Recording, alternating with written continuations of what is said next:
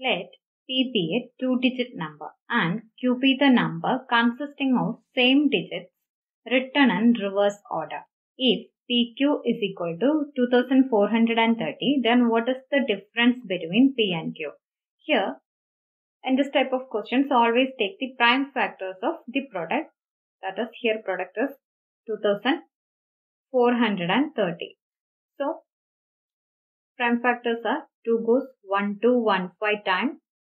Again 3 goes 4 not 5 times. Again 3 goes 1 3 5 times. Again 3 goes 45 times. Again 3 goes 15 times. Again 3 goes 5 times.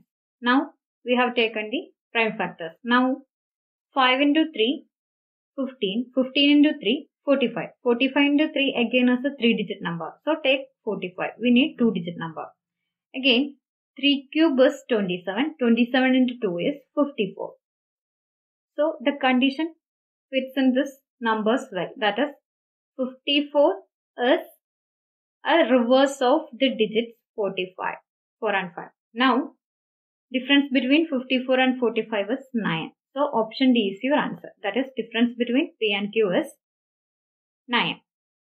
Let's check another example for this. That is 12 into 21 is 252. This is in the form of P into Q is 252. Now take the prime factors of 252.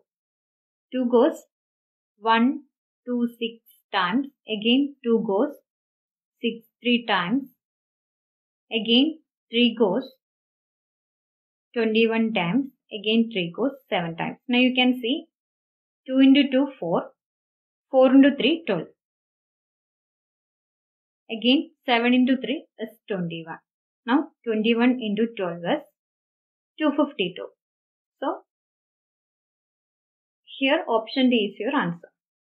Let's do this question in different method as well. Here 0 is in unit place. That means unit place of P or Q is 5.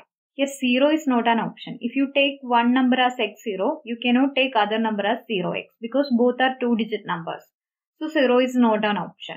Now if you take 5 as a unit place, then the other number should be an even number because 5 into an even number leads to 0 here.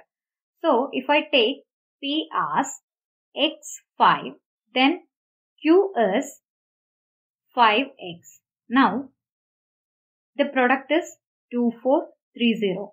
In two digit multiplication, you know the left hand side numbers 5 into x plus whatever the remainder that is 5x plus remainder is the left hand side digits that is 24 here. Now, the other digit that is x should be an even number. x should be an even number because 5 into an even number leads to 0 here. So here if I put 6 you can see 5 into 6 is 30 that is greater than 24. So x can be 2 or 4 here. So the numbers can be 52 and 25 or 54 and 45. Now if you look at this 50 into 20 is 1000. So 52 into 25 less than 2000. So this is not an option. Here 54 into 45 is the correct answer because 50 into 40 is 2000. So this is the correct answer. So here if you take the difference 9 is the difference. So option D is your answer. So either you can do this way or you can take the prime factors of the product here.